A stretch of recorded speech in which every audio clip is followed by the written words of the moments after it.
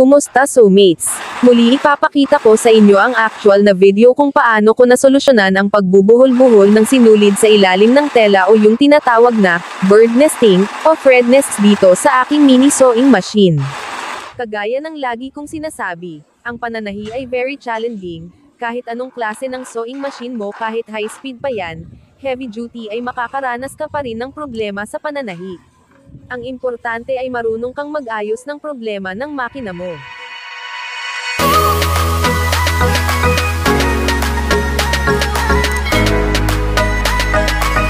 Kailangan talaga ng mahabang pasensya at tiwala sa sarili mo at sa makina mo na maaayos din ang lahat. Lalo na kung mini sewing machine ang gamit mo na marami talaga ang nagmamaliit dito. Actually, tama naman sila kasi maliit naman talaga ang makinang ito, pero para sa akin, ito ay small but terrible at amazing machine. O di ba? Saan ka nakakita ng laro ang makina na kayang tumahi ng kortina, bedsheets, at mga damit? Ito ang mga tunay na laro ang makina. Iyang mga iyan ang hindi talaga kayang magtahi, pambata lang talaga, napakamahal pa kumpara sa mini sewing machine.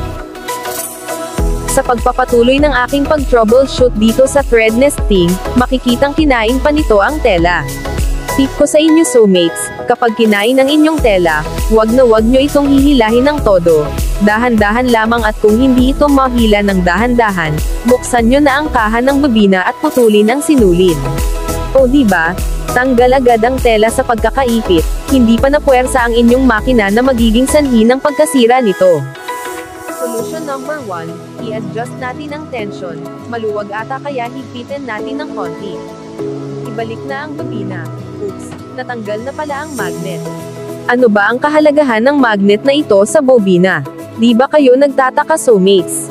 Plastic ang makinang ito, pero ang ginagamit na bobina ay metal.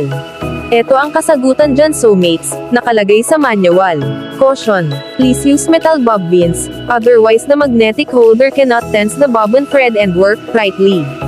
Yun pala, siya pala ang nag-aayos ng tahi ng babina, so kapag wala ang magnet na ito, hindi nagagana ang babina, kaya ingatan po natin soulmates. Ayan, ayaw nang makuha ang sinulid sa babina, natanggal kasi ang magnet.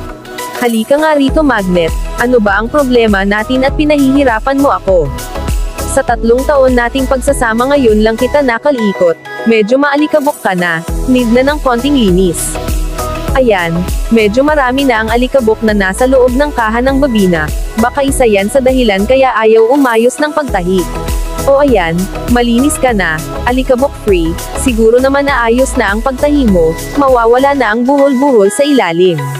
Nahihirapan, pero hindi susuko, kailangan matutunan ko ang pag-aayos nito. Hindi tayo matututo kung susuko tayo agad soulmates. Yung konting problema lang susuko ka na, hindi tayo magtatagumpay sa buhay kapag ganyan ang attitude natin. Sinusubukan ako talaga nito, pero sabi ko nga hindi ko siya susukuan hanggat hindi ko siya naayos. Kaya kayo soulmates, kapag konting problema sa makina nyo, susuko na kayo agad at agad nyong iisipin na, nako, sira naman itong makinang nabili ko, sayang lang ang pera ko.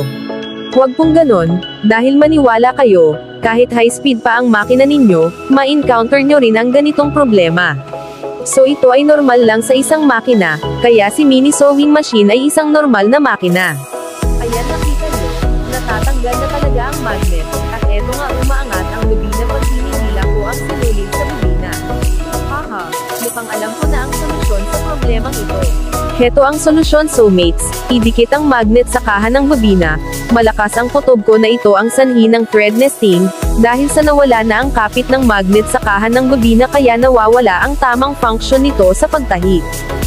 Heto na ang final verdict soulmates, ano sa palagay nyo?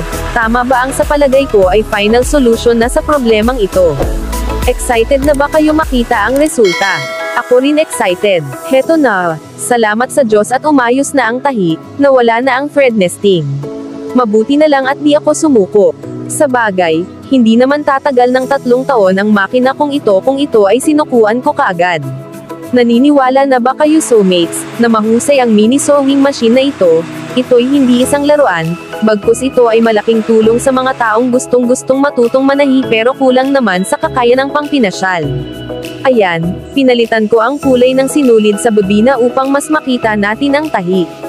Again, adjust-adjust na lang sa tension kung di tayo satisfied sa tahi nito. Mukhang matagal pa ang pagsasamahan namin ng aking munting makina.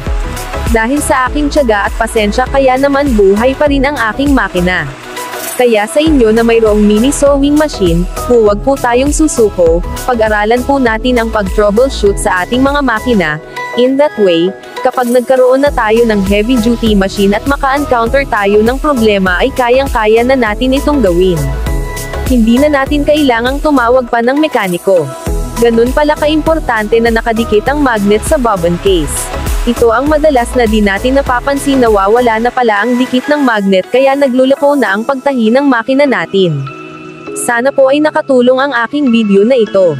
Pakibisita na rin po ang iba ko pang video, marami po kayong matutunan sa mga contents ko. Kung nagustuhan nyo ang videong ito, pakiusap ko, i-like po ninyo at paki-share na rin sa inyong mga kaibigan. Paki-subscribe na rin po sa aking channel at pakipindot lamang ang notification bell upang lagi kayo updated sa mga bago kong uploaded tutorial video. Maraming salamat po and God bless.